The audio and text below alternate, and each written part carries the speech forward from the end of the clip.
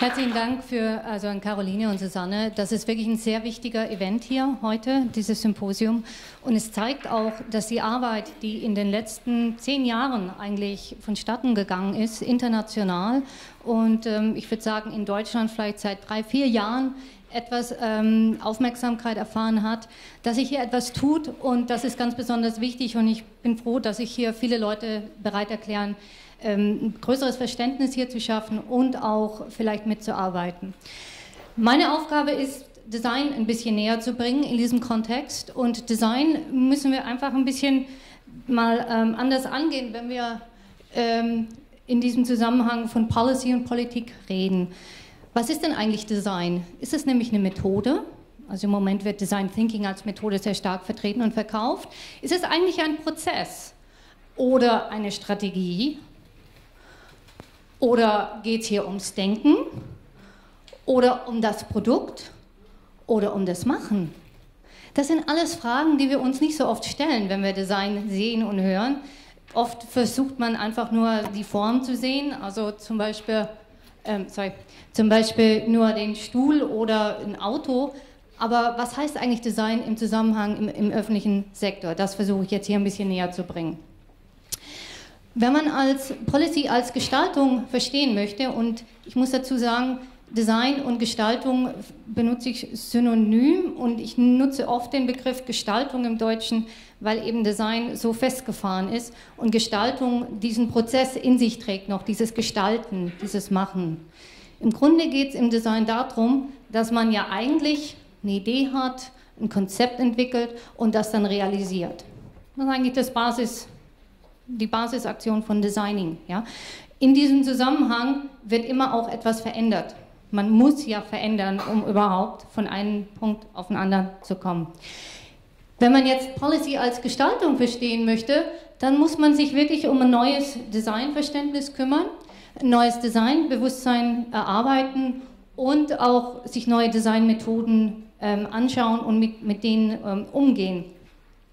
Für mich heißt das also wirklich, dass dieses Policy als Gestaltung diese, dieses Designverständnis einführt, ein Designbewusstsein vermittelt und eben uns auch durch diese neuen oder mehr äh, anderen Ansätze zur, zu Designmethoden äh, unser, unser Repertoire bereichert. Gucken wir uns schnell das Designverständnis an. Was ist die Absicht von Design? Was ist der Fokus? Konzentrieren wir uns, dass wir eine Kommunikation äh, vermitteln? Am Ende des Tages ist es eine Broschüre, ist es eine Webseite, ist es ein Objekt, ein Ding, eine Sache?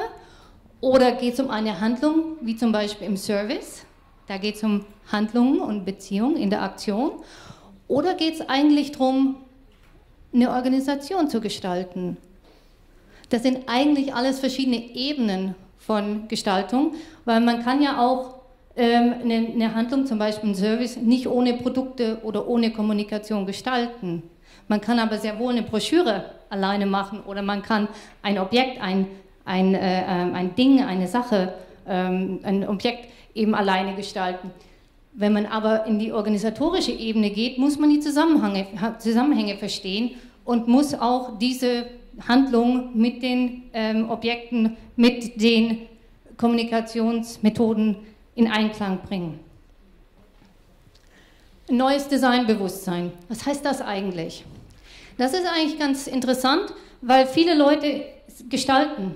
Viele Leute sind in der Organisation, also wenn ich hier jetzt rumfrage, und das wird in unserem Workshop später auch nochmal deutlich werden, wir sind alle in irgendeiner Art und Weise in den Prozess des Gestaltens involviert. Die Frage ist, wie weit sind wir uns dessen bewusst und welche Rolle nehmen wir da ein und welche Methoden wenden wir da an. Um bewusst zu werden, kann man sich zum Beispiel im öffentlichen Bereich einfach mal überlegen, was heißt denn das eigentlich? Wer, wer gestaltet denn und mit wem? Ja? Und das ist jetzt keine, ähm, wie sagt man dann, Vorgabe, wie das sein muss. Das ist jetzt kein, äh, äh, kein, keine Matrix, wo man sagen kann, so muss es sein, sondern nein, das sind die Möglichkeiten. Und wenn man sich mal bewusst wird, dass es verschiedene Arten und Weisen des Gestaltens gibt und dass man eben auf diesen verschiedenen Ebenen arbeiten kann, kann man sich auch mal auf so eine Matrix finden und sagen, oh, hoppala. Also unsere Organisation wir arbeiten ganz alleine wir entwickeln unsere Produkte und unsere Dienstleistungen intern und äh, wir machen das für die Bürger. Wir bringen die nicht mit rein in den Prozess, aber wir machen was für die.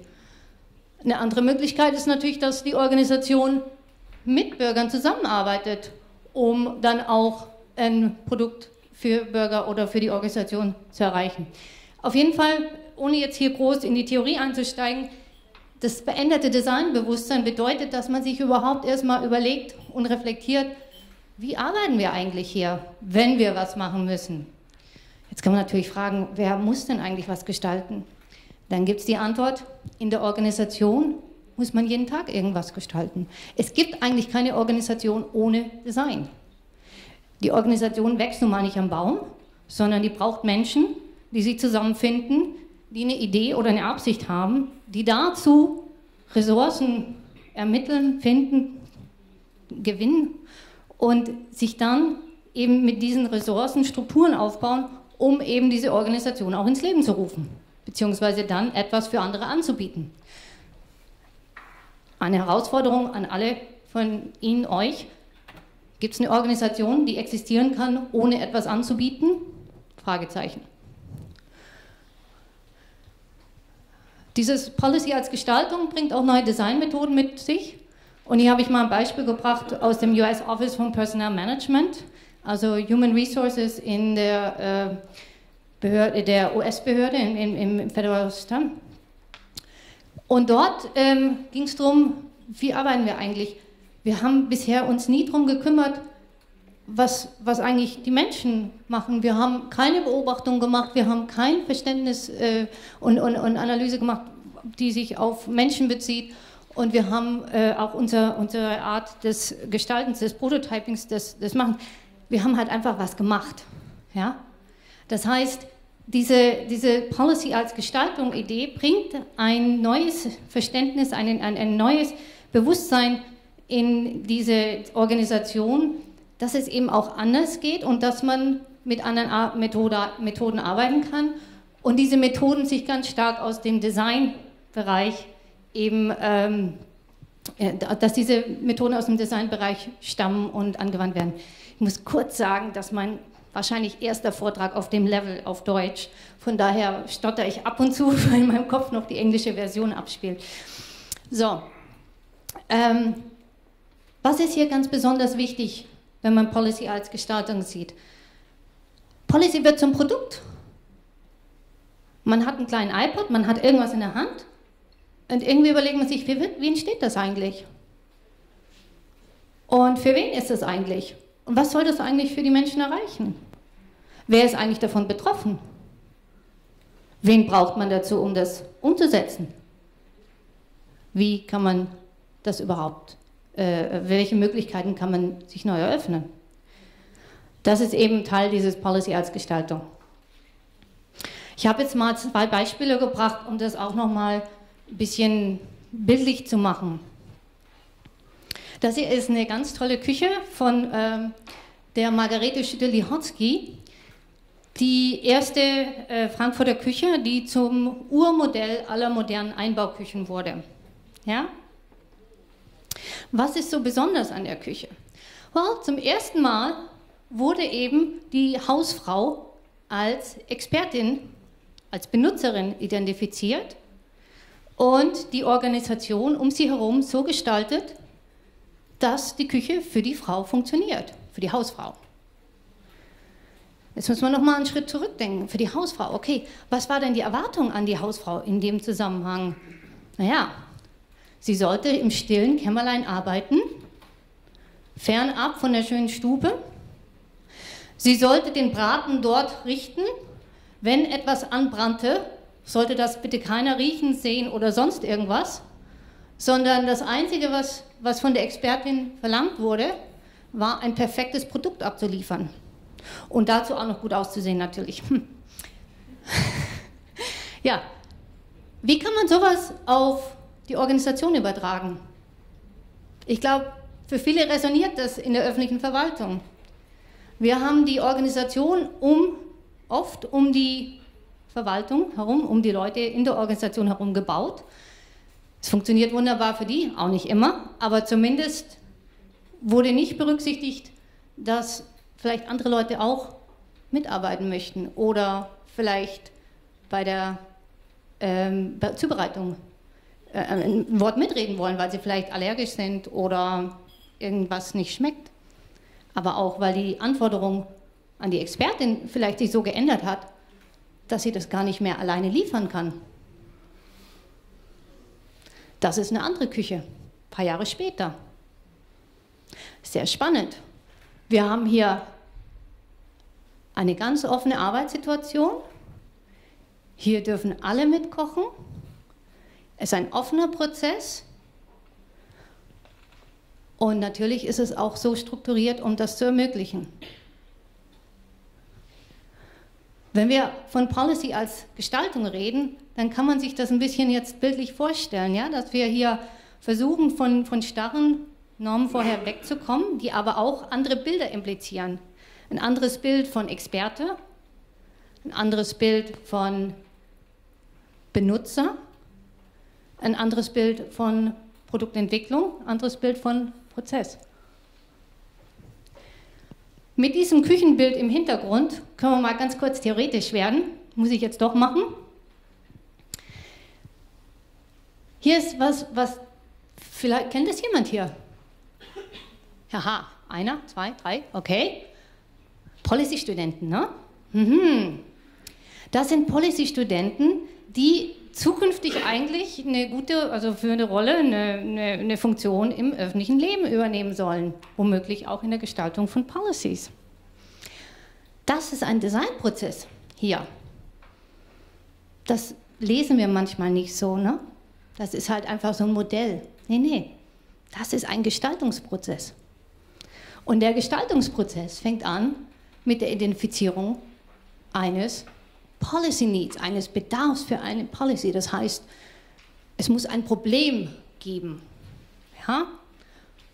Also gibt es ein Problem, gut, haben wir ein Problem, dann gehen wir weiter. Dann klären wir, wie diese Policy aussehen müsste, um das Problem zu lösen. Dann beschreiben wir diese Policy und dann, wir haben auch hier so einen schönen Gang, ja? Sind dann hier die Policymaker. Ihr habt jetzt alle eine gute Policy formuliert, aber mit der Umsetzung wollt ihr nichts zu tun haben. Das lassen wir mal lieber die Implementoren machen, ja, die ähm, Organisation, die Public Managers und so weiter und so fort, die natürlich überhaupt keine Rolle hatten in der Formulierung und die jetzt auch nicht verstehen unbedingt, was eigentlich die Intention dahinter war.